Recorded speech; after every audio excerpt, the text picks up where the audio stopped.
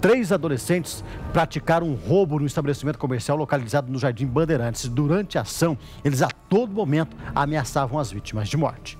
Num trabalho rápido, a Polícia Militar conseguiu fazer a apreensão dos três adolescentes que cometeram um assalto na Avenida Serra da Esperança, no Jardim Bandeirantes. Tenente Afonso, trabalho rápido aí da polícia evitou que, inclusive, uma das vítimas pudesse ser morta.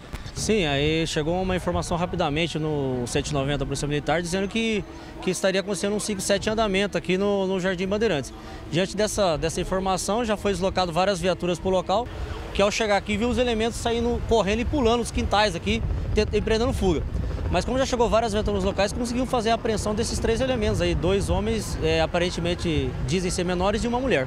Apesar de menores, são bastante violentos. Sim, foram violentos aí, ameaçaram aí com crise de crueldade a, a vítima aí que está apavorada no local. Agora, um dos adolescentes já é conhecido da polícia e mora a menos de uma quadra do local do assalto. Sim, segundo informações aqui do pessoal aqui que trabalha no local, ele mora aqui nessa rua mesmo onde vem cometer o assalto.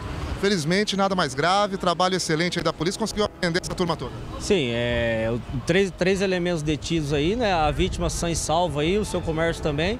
E os elementos agora vão ser levados para o terceiro DP para as providências legais. Agora, havia informação de que todos eles estavam armados. Foi localizada alguma arma? Não, infelizmente as armas não foram localizadas ainda. Se alguém tiver alguma informação, denuncia a polícia. Sim, se alguém tiver informação e saber alguma informação de onde eles esconderam essas armas aí na fuga, é, ligue no 8197 aí, Polícia Militar, que a gente vem averiguar a situação.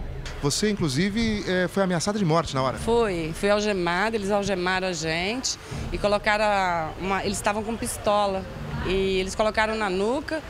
Aí quando acho que a polícia, parece que eles ouviram sinal de que a polícia vinha, um cara mandou apagar a gente. Eles... Que era para atirar na cabeça mesmo. Na nuca. Atira na nuca e apaga, não deixa rastro. Quem estava aqui na loja na hora? Eu e minha irmã só.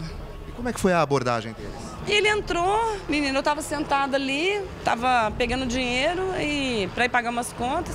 Ele só entrou, quando eu vi ele entrou, ele já fechou a porta e já apontou a arma para mim e falou: "Perdeu, abaixa a cabeça, me dá um abraço. Eu fui e dei. Falei, pode pegar o que você quiser. Só falei isso, só não atira. E os dois estavam armados? Três. Três armados? Três armados. Eram três armas? Três armas. Agora, o que chama a atenção é que um dos menores infratores mora na esquina da loja. Mora aqui na esquina. Eu não sei. Ele... Não, eu não sabia. Mora a menos de cinco casas daqui. Sério, menino? Que isso, eu tô boba. Eu tô chocada. Você não é daqui de Londrina? Não, nós somos de Minas, mas eu já moro aqui há 20 anos. Já tinha passado por uma situação dessa? Menino, já fui assaltada, assim, me roubaram o notebook, passei mais ou menos, mas não assim como falando que vai me apagar, entendeu? Se viu morrendo mesmo? Me vi. Dessa vez eu me vi. Eu acho que eu nasci de novo hoje.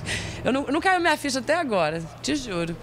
Comemorar agora, né? Comemorar, com certeza. Agradecer a Deus só, né? O trabalho da polícia também foi muito rápido. Gente, fantástico.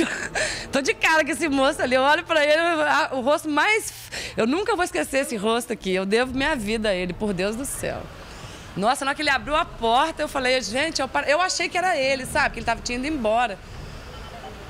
Nossa. Queria saber quem era o policial militar lá que chegou na hora lá pra gente falar o nome dele no ar aqui. Porque essa mulher, você viu na entrevista, ela fala: Devo a minha vida a este policial militar. Que durante o assalto, quando eles perceberam que os policiais estavam chegando, possivelmente ouviram, né, o giroflex e a sirene, os que colocaram, falar para um deles, na cabeça, atira na nuca, que é para não, não deixar vestígio. Se olha só a ousadia desses moleques.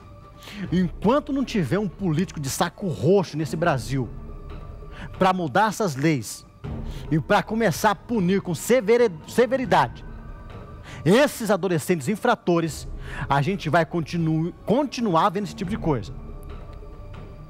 Tem que punir severamente, tem que ir para cima, tem que deixar esses moleques três, quatro anos. É três anos só que pode, mas deixa o tanto que, que for preciso. Um desses adolescentes um desses menores mora lá na mesma rua, fica a cinco casas do local do roubo.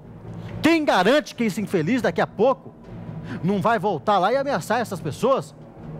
Será que, os, que o comerciante, que essa comerciante, vai ter que abandonar o estabelecimento comercial, mudar da região por conta de menores infratores? Será que vai acontecer isso? Eu espero que não. Eu espero que a justiça, nesse caso, faça alguma coisa para evitar que mais um comerciante londrinense saia do local de trabalho por conta de bandidos. E o moleque mora do ladinho ali, cara. Isso que é revoltante. Três adolescentes, hein? Vão ficar apreendidos? Vão. Três anos? Conta uma piada mais engraçada que essa é, é não, não, tem graça nenhuma, né? Daqui a pouco estão nas ruas de novo amedrontando outras pessoas. Vamos só aguardar para ver o que vai acontecer nesse caso. Pode ter certeza que a gente vai ficar vendo esse caso de pertinho.